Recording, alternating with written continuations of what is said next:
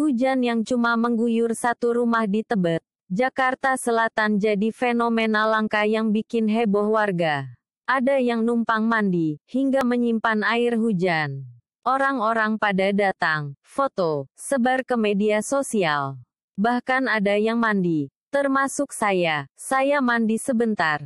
Ibu saya juga sempat tampung airnya eh, Tadi pagi dia buang. Enggak Jadi tahu kenapa, kata pemilik rumah rumah tersebut. hujan, eh, di Muzakir di Jalan. Tebet Barat Dalam, Jakarta Selatan, Senin, tanggal 28 hujan, Agustus tahun katanya kering. 2017. Sininya kering. Peristiwa ini terjadi pada Sabtu, tanggal ada 26 satu Agustus tahun hujan, eh, jadi hujan satu rumah 2017, doang. kemarin lusa.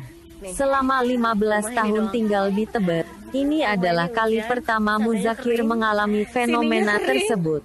Ada yang percaya bahwa hujan misterius ini memang hanya mengguyur satu rumah, ada juga yang tidak percaya.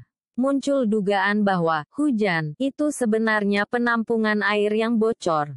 Bebas ya orang menafsirkan apa saja. Ada yang mengira mungkin karena torang, penampungan air bocor, tapi kan sampai malam.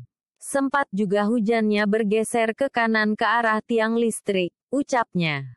Ada juga yang mengaitkan hujan misterius ini dengan hal-hal supernatural.